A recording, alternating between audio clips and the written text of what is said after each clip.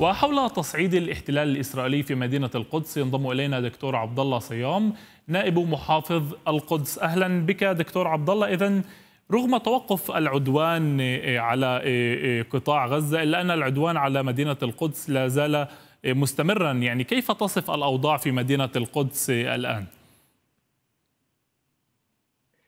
ما نراه في مدينة القدس أن الأمور تزداد حدة واتساعا في استهداف الاحتلال لمكونات المدينة وفي مواصلة الحملة الشرسة للتطهير العرقي بهذا التهجير القسري في الشيخ جراح وفي منطقة سلوان حي بطن الهوى وحي البستان المجاور.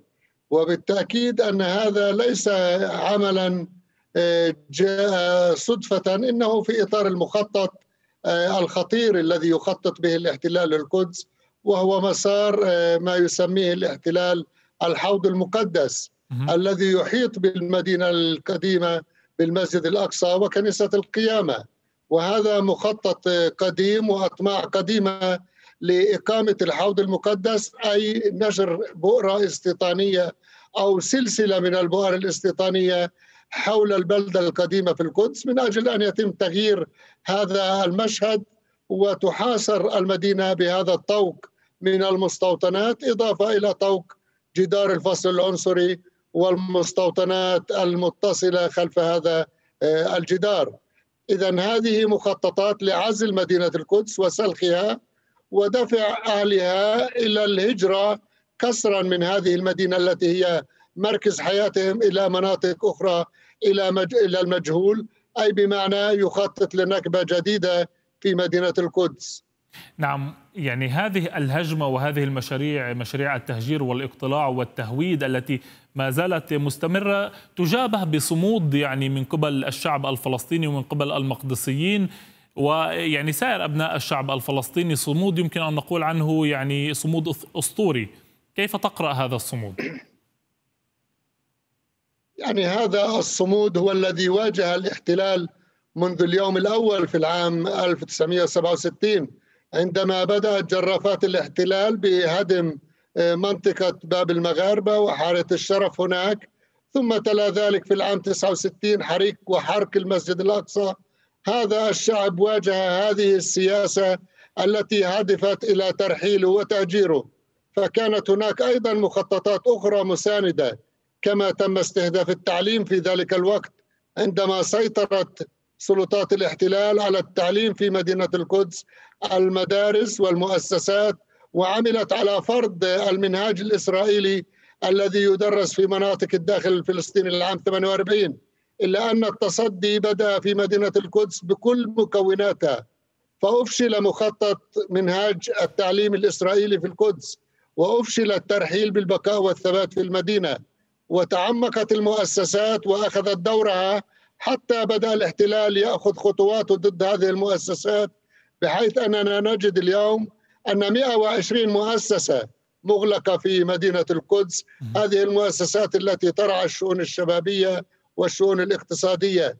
اذا الاحتلال يستهدف كل مكونات الحياة في مدينة القدس بقطاعات متعددة هناك 25 قطاع في مدينة القدس الشباب والمرأة والاقتصاد نعم. والمساجد والمستشفيات وغيرها. كل هذه القطاعات تعاني من خطر الاقتلاع ولكن أخطرها عندما يكون الأمر يتعلق بالمواطن المقدسي. فإذا ما تم اقتلاع المواطن المقدسي بالتالي ستنهار الروضة وتنهار المدرسة ويضعف المستشفى وتضعف الحياة الاقتصادية.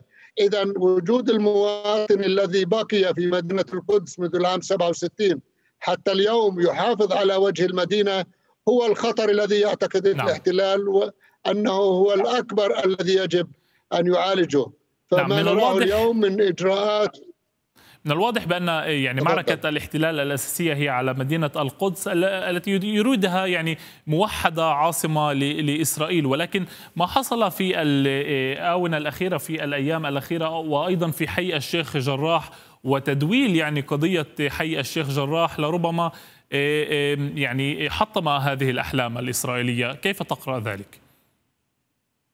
بالتأكيد يعني الاحتلال اعتقد أنه يستطيع بهذا الانحياز الكبير الذي كان في عهد الرئيس الأمريكي السابق ترامب وفي ظل القرارات التي اتخذتها الكنيست سابقا قرار يهودية الدولة والقرارات الأخرى وقرار ضم وتوحيد مدينة القدس الشطرين الشرقي والغربي في العام 68 وفي العام 1980 وما تبعها بعد ذلك من قرارات هو اعتقد أنه أقرب ما يكون إلى تحقيق هذه المخططات الخطيرة.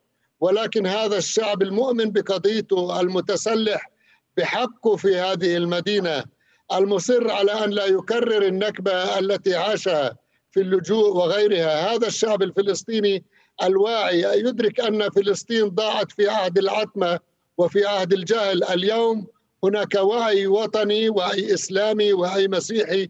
هذا الوعي هو الذي يفشل كل هذه المخططات لأننا ليس لنا مدينة إلا القدس وليس لنا دولة إلا فلسطين وليس لنا مكانا في اللجوء بعد اليوم. هذا الموقف الذي خاضه الشعب الفلسطيني في مدينة القدس نعم. ودعمه هذا التلاحم الجماهيري من فلسطيني الداخل بل ومن فلسطيني الشتات أيضا. وهبت غزة أيضا بهذا الموقف نعم. البطولي وبرأيك كيف يجب اسف كيف يجب استثمار يعني كل هذا التعاطف من قبل شعوب العالم وهذا الزخم أيضا الداخلي يعني في كافة أرجاء الوطن وهذه الهبة التي شهدناها في آه، الأسبوعين الأخيرين يعني أيضا من الداخل والضفة وقطاع غزة، كيف يمكن استثمار آه، هذه الحماسة من أجل يعني لربما تحقيق المزيد من المطالب والحقوق للشعب الفلسطيني؟ هناك استحقاق لشعبنا الفلسطيني. هذا الاستحقاق يتمثل بالدولة الفلسطينية وعاصمتها القدس. إذا هذه الشعوب التي تنتفض وتقف مع الشعب الفلسطيني في عواصم العالم عليها أن تدفع هذه الدول إلى مزيد من القدرة لتطبيق القرارات الدولية المتعلقة بمدينة القدس وبالقضية الفلسطينية بشكل عام. فلسطين الدولة 194 هي دولة مراقب في الأمم المتحدة.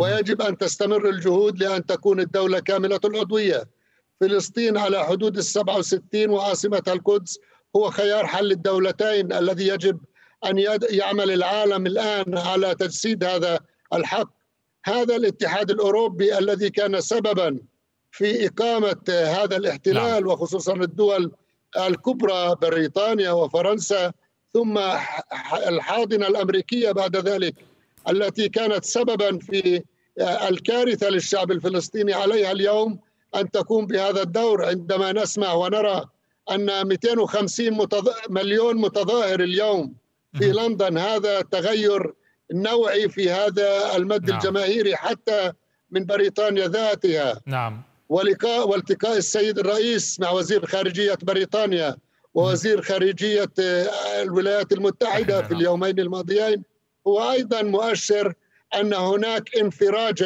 في هذا الحق وتغير في الموقف الدولي والأمريكي أن يخفي ويقفز عليه ويقفز عليه باصطناع نعم. أن هناك تطبيع مع الدول العربية وهناك تعايش مع العالم العربي كل هذه القضايا الوهمية ذهبت اليوم بالضربة القاضية جراء هذه الهبة المقدسية نعم. الحيفاوية اللداوية الغزاوية اللبنانية الأردنية الفلسطينية نعم كل هذه الوقت. الأمور نعم. أصبحت وظهرت هشاشتها أمام صخرة الصمود الفلسطيني الذي نعتقد أنه بات أقرب ما يكون نعم.